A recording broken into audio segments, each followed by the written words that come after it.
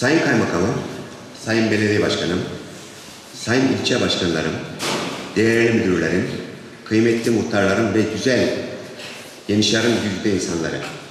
Hepiniz 21 Nisan 2012 Cumartesi günü Yenişehir Bademli ilçemizde gül ve fidan dikme etkinliğimizdeki toplantıları konuşmak için katıldığınız için çok teşekkür ediyorum. Hoş geldiniz.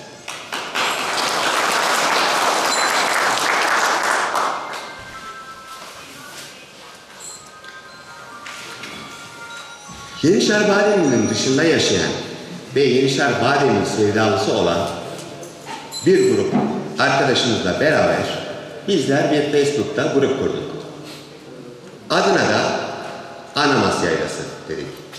Amacımız Yenişehir'e hasret giden, Yenişehir'in dışında yaşayan ve bu güzel memleketimizin değerini çok iyi anlayan arkadaşlarımızla sanal ortamda da olsa güzel şeyleri paylaşmak ve günü geldiğinde bu sanal ortamdaki olayları gerçek ortama dönüştürmek.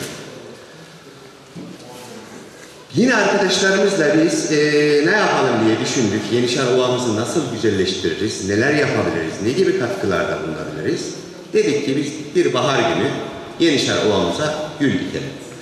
Adı gül etkinliği olsun. Ama sadece gül bir sembol.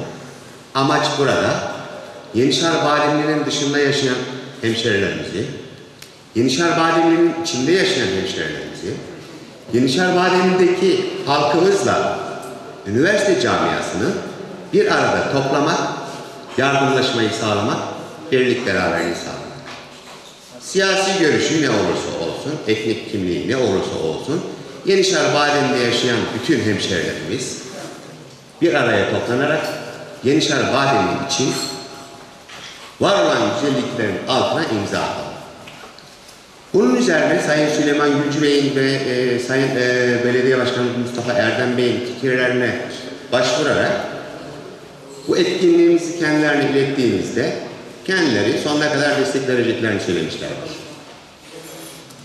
Yine bizler e, bu grupta dedik ki bir hesap olsun, destekleyelim maddi anlamda. Bu hesap nerenin hesabı olabilir? İşte bir okulumuzun e, yaptırma ve kalkındırma derneği adı altında bir derneği var. O derneğin hesap numarası olsun. Oraya herkes gücü yettiğinde.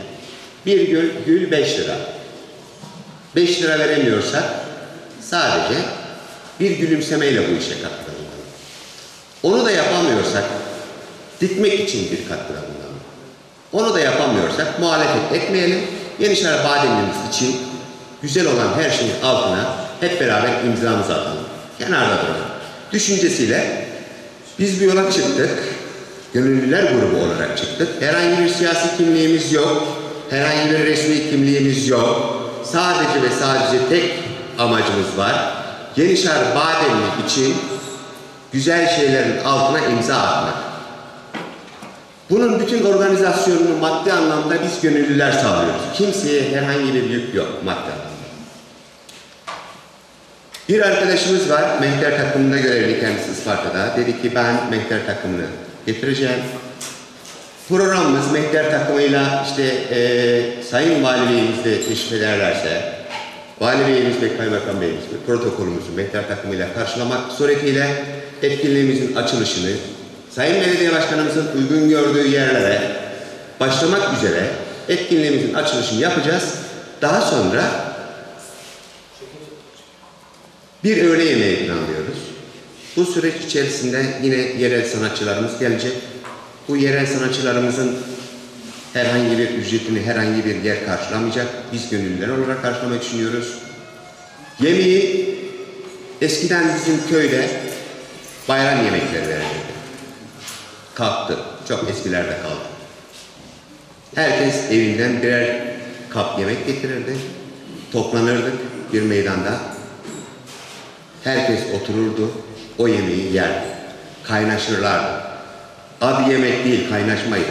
Ben sağ, Sayın Vali Bey'imin ve Sayın Kaymakam Bey'imin e, aynı yerde beraber bağdaş kurarak Mehmet amcamla, Ahmet amcamla birlikte o yer sofrasında yemek yemesini arzuluyorum. Geriye bir şey kalmadı. Bir masrafımız kalmadı. Biz gönüllüler bu işi üstleniyoruz. Sözü fazla da uzatmak istemiyorum. 3-4 günden bu yana da e, derneğin hesabına gönüllü arkadaşlarımız tarafından para akışı başlamıştır. Hepinize çok çok teşekkür ediyorum. Saygılar sunuyorum.